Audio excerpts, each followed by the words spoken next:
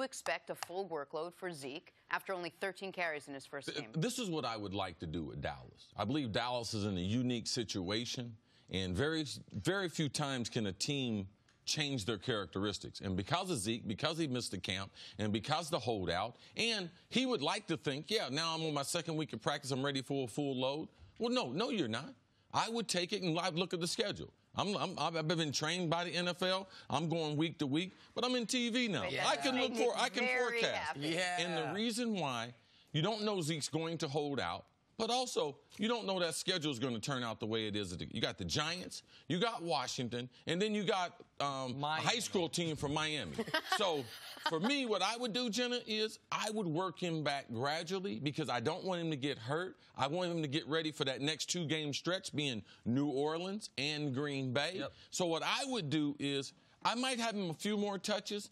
But I want people to see another 60 to 70 plays of Kellen Moore in that passing game, Jon Kitna, his impact on Dak as a passer, because I'm just going to tell you, you put enough film out there with guys running wide open and hitting guys down the field, the NFL will adjust. So by the time they need Zeke to be able to go back and grind it out, they would have enough video and the young players, especially Michael Gallup and some of the other players, Randall Cobb's not a young player, but they would have tremendous confidence as you get into the meat of the schedule. So they got a unique opportunity, and I would take advantage of it. After seeing that film last week, seeing the route combinations, I put another two games out there very strong. So, yes, he might touch the ball another three to five times more, but it wouldn't be as physical as I'm used to, and a lot of those might be in the passing game. And I don't often say this, but I almost feel like you were cheating off my paper there, see? Because I agree with you a thousand percent. I can't cheat. I'm sitting in the front next to the teacher. I'm the okay. teacher's pet. Okay, no problem. I ain't looking on nobody's the, paper. Because it does have to do with the schedule.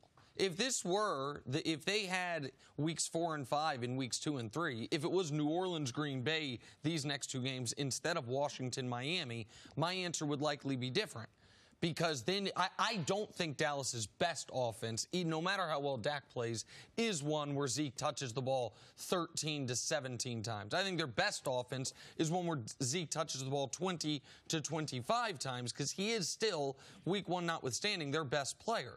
But what is best for the Cowboys in a very winnable road game is for Dak and the passing game to try to continue this momentum, to try mm-hmm. to continue feeling great about themselves. And you mentioned Kellen Moore, and obviously Kellen Moore had some really nice adjustments. They did a lot more pre snap motion, they did a lot more play action week one than they were doing last year. But if you go back and watch the big plays, a lot of those plays had no play action. A lot of those plays had no window dressing pre snap.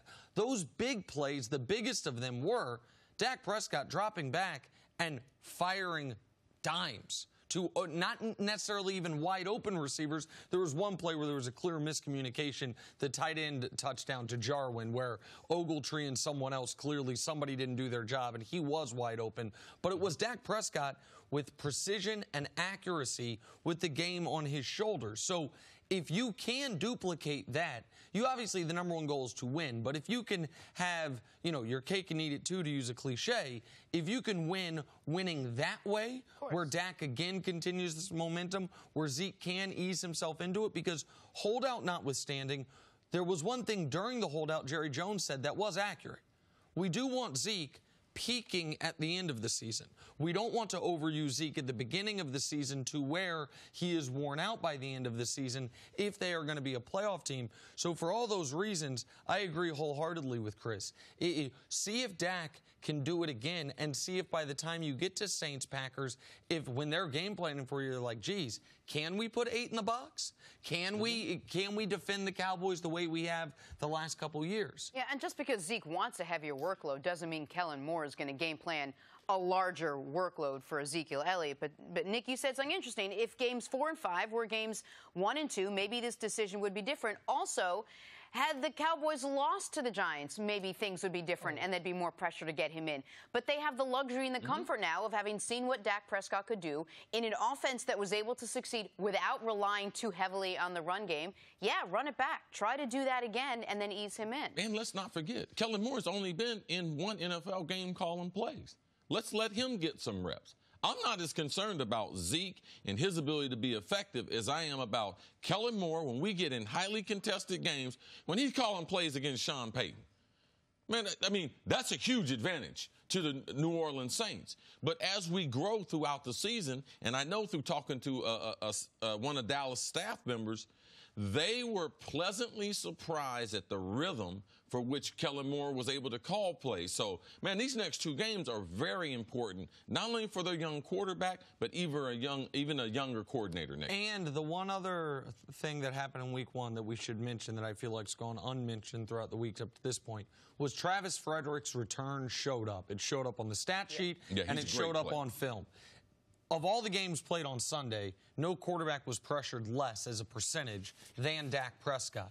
When you're pressured less than 10% of your dropbacks, you are going to have high level success, particularly with the receiving corps working the way it did. And so it, Tyron Smith played well, that entire offensive line, but you could see they got their all pro center back for the first time in over a year with Travis Frederick in week one. But in watching week number one, be careful. Jay Gruden had Washington prepared. They had Philly on the, the ropes. Ropes. Jenna was texting people, there go Casey, there go Casey. No, I Case Keenum, that's her guy. there go Casey. I, did. I said, Jenna, he good for half know, a season or half a game. I took it back. Took it you back. must have been conflicted. You had your Super Bowl pick on one side. I know, and Case NFL Keenum crush on the, on the other. No, but it's true. Case Keenum and, and Washington did have Philly a little nervous there in the early half of that game, and they might be able to do the same for the Cowboys. Pressure on them to get out to the game. right. And the start. reason why I mention that is you don't want to take teams for granted. As to say, oh, you know, some it's it's like we'll work Zeke in there slowly, or you know, some no. You need to know this is a divisional game. Right. You get 2 and 0 in your division. You're on the road. It's the first time this team is going on the road. The formula to being successful is I need to win at least half of my road games. I go 7 and 1 at home. And you're 11 and 5. And, and you're looking good. So for me, it becomes important in this rare three game window, developing my passing game, creating film out there that the NFL realizes that, oh, Dallas is throwing the ball a lot like they had done the previous nine games, Nick, because we yep. can't forget how effective Dak and Amari were the second half of the season. And real quick, you mentioned Dallas going on the road for the first time. The flip side of that is home opener for Washington. So a little extra juice for Washington in that regard after being on the road in week one, coming home and seeing what they can do. Thanks for watching. Subscribe here to get the latest from the show. Also, be sure to check out more of the best clips from First Things First, or go watch a few segments from our other shows on FS1.